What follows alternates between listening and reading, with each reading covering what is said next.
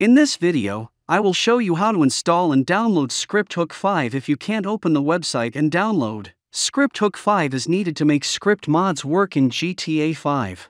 Without ScriptHook 5, you will not be able to run the script mod. But if you downloaded the mod, and while downloading ScriptHook 5 you had an error, then this is not a reason to stop installing the mod. Now I will show you two ways to solve this error. The first method is very simple. You can find ScriptHook 5 on the same site where you downloaded the script mod. In the description of the mod, you can check the last update date, and if the date is not too old, then you can download it.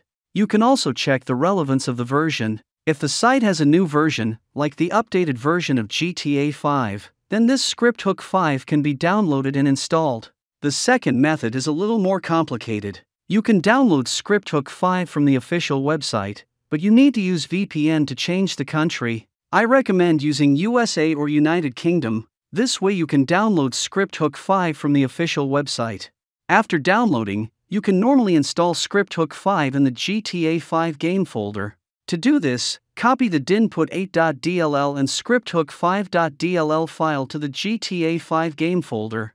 Now you can add script mods to the game and they will work. Because without ScriptHook 5 you will not be able to run the mod. So ScriptHook 5 is very important when installing mods. That's all. If you liked this video, then like and subscribe to the channel. Thank you all for watching,